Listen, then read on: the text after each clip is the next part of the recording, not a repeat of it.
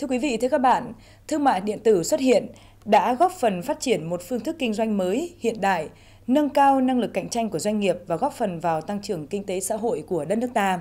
đặc biệt là trong quá trình mở cửa, hội nhập kinh tế quốc tế. Đến nay, ngày càng nhiều người biết đến thương mại điện tử. Dự báo đến năm 2020 sẽ có khoảng 30% dân số tham gia hoạt động thương mại điện tử. Đây là tín hiệu đáng mừng nhưng cũng là thách thức đối với lực lượng quản lý thị trường trong công tác chống gian lận thương mại trên lĩnh vực thương mại điện tử ở Việt Nam hiện nay. Là một doanh nghiệp mới thành lập từ năm 2018, công ty cổ phần Thảo Mộc Đường đã nắm bắt kịp thời xu hướng kinh doanh 4.0. Các sản phẩm đều được chú trọng giới thiệu và phát triển trên môi trường thương mại điện tử. Điều mà doanh nghiệp này luôn chăn trở là những sản phẩm đều đã phải trải qua quy trình cấp phép nghiêm ngặt, khâu kiểm định chất lượng chặt chẽ mới được đưa lên mạng bán hàng. Nhưng với tình hình kinh doanh thương mại điện tử Việt Nam hiện nay, trên môi trường mạng có rất nhiều sản phẩm không rõ nguồn gốc xuất xứ, chất lượng sản phẩm đều được giao bán như nhau. Khách hàng cũng khó phân biệt được đâu là hàng nhái, hàng giả, hàng kém chất lượng. Như vậy đã ảnh hưởng ít nhiều đến tình hình kinh doanh của doanh nghiệp. Về thời điểm hiện tại thì đang là thời điểm gọi là thời điểm vàng của thương mại điện tử Việt Nam. Ờ, khi mà đa số người dùng đã quá quen thuộc với ờ, hình thức gọi là mua hàng trực tuyến, mua hàng online. Cái thị trường mà thương mại điện tử của Việt Nam hiện tại là đang là tiềm năng rất lớn khi mà các uh, các cung bên cung cấp các dịch vụ về vận chuyển này à, thứ nữa là về cái nhận biết của khách hàng về cái thương mại điện tử càng ngày càng được nâng cao đối với cấp độ doanh nghiệp ấy thì chúng tôi là luôn mong muốn rằng là các cơ quan chức năng thì uh, vào cuộc và kiểm soát chặt chẽ hơn các cái sản phẩm mà tung ra thị trường đặc biệt là các sản phẩm mà buôn bán online được là cung cấp ở trên các trang mạng trực tuyến. Theo Tổng cục trưởng Tổng cục Quản lý thị trường Bộ Công Thương, khó khăn lớn nhất đối với hoạt động chống gian lận trong thương mại điện tử là các đối tượng không có cửa hàng, chỉ thông qua các website, mạng xã hội để quảng bá giới thiệu sản phẩm, sau đó chuyển hàng và thanh toán trực tiếp theo thỏa thuận. Hàng hóa được phân tán nhỏ lẻ, cất giấu ở rất nhiều nơi, thậm chí bán hàng qua trung gian. Hiện nay hầu hết các hành vi vi phạm do chủ thể bán hàng không thực hiện đúng trách nhiệm của người bán trên sàn giao dịch điện tử. Hầu hết tất cả gần như 100% các giao dịch thương mại điện tử trên mạng này là không có hóa đơn chứng từ cụ thể. Đấy, không có hóa đơn chứng từ. Đấy, do vậy là cái việc mà xử lý đối với hàng giả, hàng lậu, hàng không rõ nguồn xuất xứ lại càng khó khăn. Không lần ngược lại là ông nào cung cấp hàng hóa cho các sàn giao dịch thương mại điện tử hoặc là cung cấp hàng hóa cho các website thương mại điện tử hoặc các cá nhân bán hàng.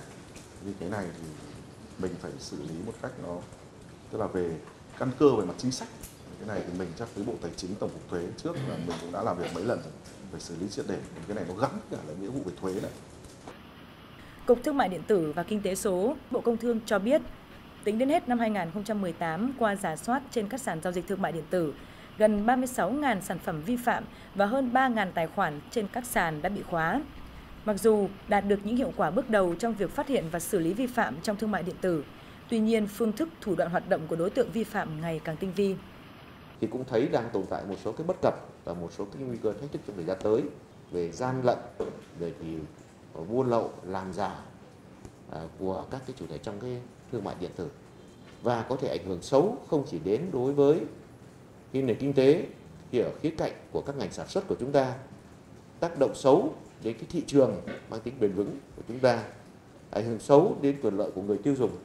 mà còn thậm chí gây ra những cái hệ lụy tiêu cực khác liên quan đến cái thất thu cái nguồn thu ngân sách liên quan thu thuế ảnh hưởng đến gọi là các cái vấn đề thực thi pháp luật trong hội nhập quốc tế của chúng ta kể cả về sở hữu trí tuệ cũng như là các cái cái cạnh khác nữa. Không thể phủ nhận thương mại điện tử phát triển với tốc độ nhanh chóng, đóng góp một phần trong nền kinh tế số, đem lại nhiều hiệu quả tích cực. Tuy nhiên ở chiều ngược lại, thương mại điện tử cũng có những nguy cơ lớn trong việc xuất hiện các hành vi gian lận thương mại, tác động xấu đến sự phát triển của các ngành sản xuất trong nước khi các trang thương mại điện tử đang công khai giao bán nhiều mặt hàng kém chất lượng, hàng giả, hàng nhái các nhãn hiệu không những làm hại các doanh nghiệp trong nước mà nó còn làm ảnh hưởng trực tiếp đến các cam kết hội nhập. Thương mại điện tử đang sẽ là một tiếp tục là một cái lĩnh vực,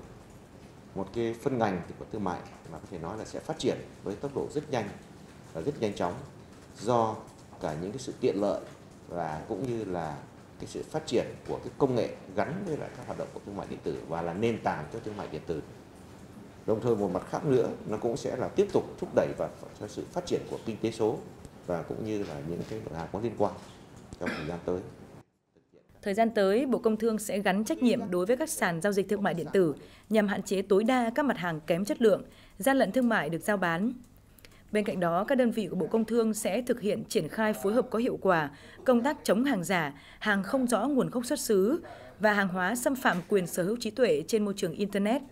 đồng thời nâng cao vai trò trách nhiệm của các doanh nghiệp sở hữu website thương mại điện tử trong việc bảo vệ người tiêu dùng, cam kết bán hàng hóa đảm bảo chất lượng, nguồn gốc xuất xứ rõ ràng và không tiếp tay cho các đối tượng lợi dụng thương mại điện tử để kinh doanh hàng giả, hàng kém chất lượng, xâm phạm quyền sở hữu trí tuệ.